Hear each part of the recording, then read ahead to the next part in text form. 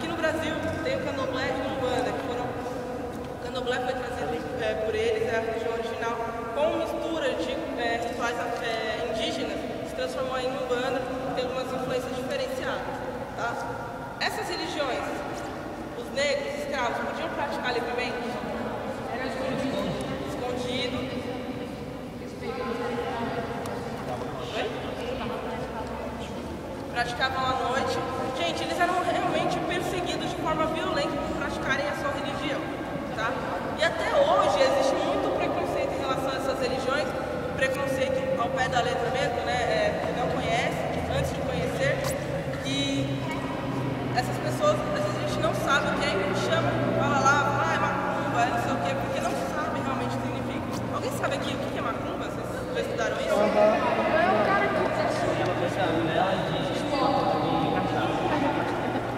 Alguém sabe? Rituais? É quando você mata duas Pra galinhas. ferrar os outros? Aí, gente, ó, pra desejar bem ou mal aos outros. Olha só. Macumba é o nome de uma árvore, tá? E essa árvore era utilizada para fazer tambores, tambores para em rituais. Então, macumba acabou se tornando o nome do ritmo que era tocado nesses tambores, tá? Por questões de perseguição, tanto é, das, das pessoas, dos portugueses colonizadores, eles acabaram sendo hostilizados, logo isso era coisa ruim. Aí falaram ali, ah, são rituais. Então, hoje em dia é conhecido como alguns rituais que são feitos. Rituais só para fazer coisa ruim? Não. Não, muitas vezes uma oferenda que você vê lá não tem nada a ver com a macumba, porque a macumba é o, rito, é o, é o toque do tambor. Tá? Aquele ritual que eles podem fazer ali, geralmente são para pedir coisas boas, pedir ajuda aos orixás, para alguma pessoa que está doente na sua família. Funciona mais, ou menos como faz esse coração. Então a gente tem que tomar muito cuidado porque eles têm essas formas de preconceito. Gente, então a gente viu aí a questão que vocês falaram que eles praticavam suas religiões escondidos, escravos, né? Às vezes à noite. Olha. É uma sereia, sereia que vive no mar. Já ouviram falar de Iemanjá? Já.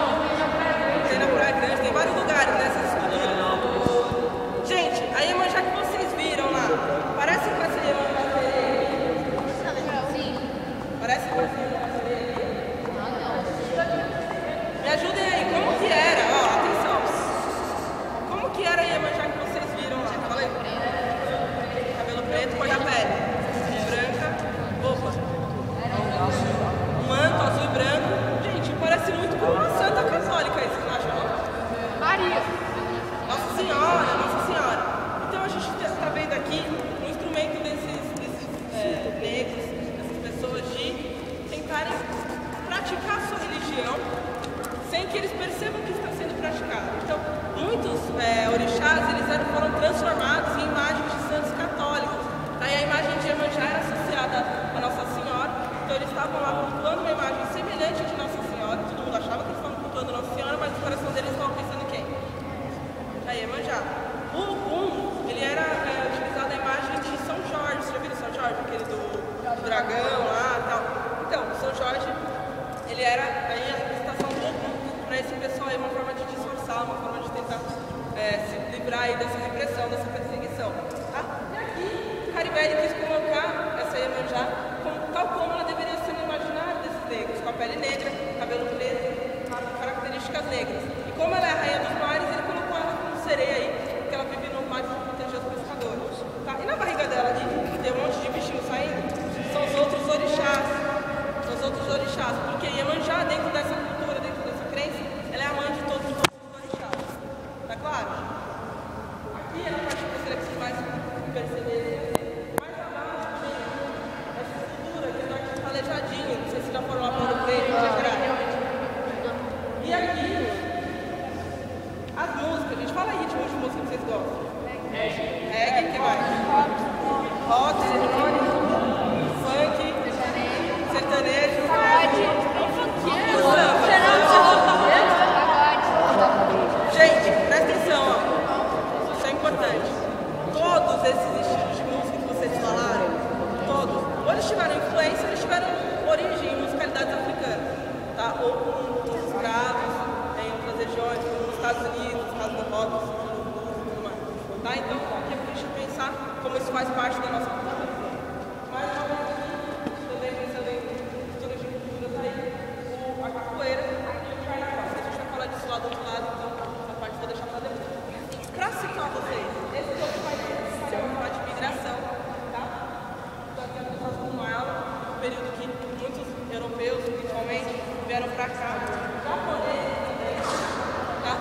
Vieram pra cá fazer o quê? Passear? Trabalhar? Fugir das guerras, da miséria. Geralmente na agricultura, por isso que essas imagens, café, cocote, do século XX. Esse outro painel vai falar das independências latino-americanas, tá? Então, aqui a gente tem essa imagem, esse homem em cima do cavalo, quem vocês lembram aí? Dom Pedro. Não, Independência Norte, quem que gritou isso aí? Dom Pedro. Dom Pedro. eu sei. É Dom Pedro. Você tá tirando foto? Não. Filmando? Ah, lá, lá, lá, lá. Ele consegue gravar meu som? Ele consegue gravar meu som? É, fica quieto. Consegue? Que que. Enfim, o que é interessante aqui, vocês ficaram meio na dúvida, por quê? É, esse homem ele não tem rosto, né? Então, se vocês fossem argentinos e eu perguntasse pra vocês do que, que vocês lembram quando vê, fala de independência e vê uma imagem como essa, vocês iriam falar, ah, esse é San Martín. Por quê? Porque todos esses líderes de independência foram pintados nessa mesma pose, tá? Então, é, dependendo de quem olha, Ah, Zé Simão Bolívar. Ah, claro. Gente, levanta aí. Tá na cara que é Simão Bolívar. Simão Bolívar.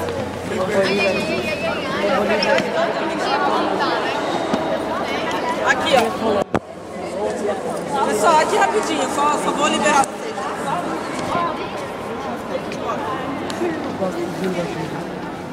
Aquele outro painel ali, ele vai falar dos trabalhadores, tá? Só pra não perder.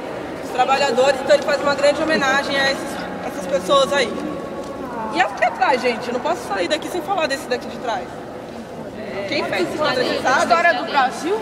O quadro, o painel Tiradentes do Cândido Portinari, tá? E aqui o Portinari ele vai narrando o momento da prisão e execução do Tiradentes. Então tem toda uma narrativa, começando aqui por outro lado, no momento que ele foi preso, ali aquele cara de calça amarela, tá vendo? Dois. De blusa azul e com as mãos acorrentadas. Ele tá em primeiro plano ali, aquele ali é o Tiradentes. Cuidado, olha as caras.